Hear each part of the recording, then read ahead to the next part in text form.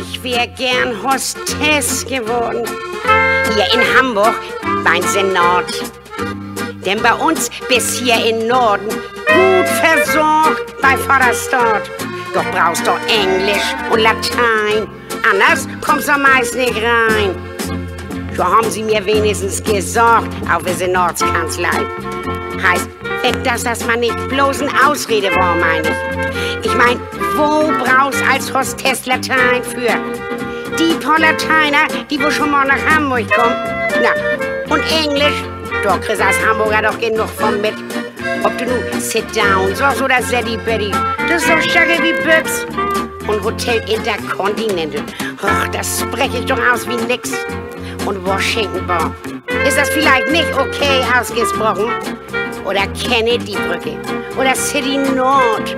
Ich meine, mehr Englisch kannst du von der Hostess Gott verlangen, ne? Also ehrlich, ich verstehe das nicht, warum das die mich nicht genommen haben. Dabei bin ich hier geboren. Na, und das ist doch auch schon was. Ich kenne die ganzen Senatoren. Uwe Seeler und Hein Gass. Und natürlich auch die Reeperbahn. Und in Hafen jeden Korn. Aber reell, nicht, dass ich mich an hochziehe. Aber ist doch so. Eine hamburgischere Hostess als wie mich gibt es überhaupt nicht. Und ich finde, das ist doch das, wo das auf ankommt. Dass sie einnehmen, die wo hier zu Hause ist und die wo ein bisschen was herzeigen mit der Volkslore und so. Was hat ein denn von sein ganzes Englisch, wenn das ein Planten und Bläum nicht richtig ausbricht? Oder nicht weiß, was Lütt und Lütt ist oder wie die Verlängerung von Hummel Hummel geht. Jetzt so sieht das doch aus. Und große Freiheit Nummer 7 und Gelbe Haus am Pinnersberg. Kenn ich doch eins aus dem FF. Und Hamburger Dom und Oberettenhaus. Dorfizwache und unser.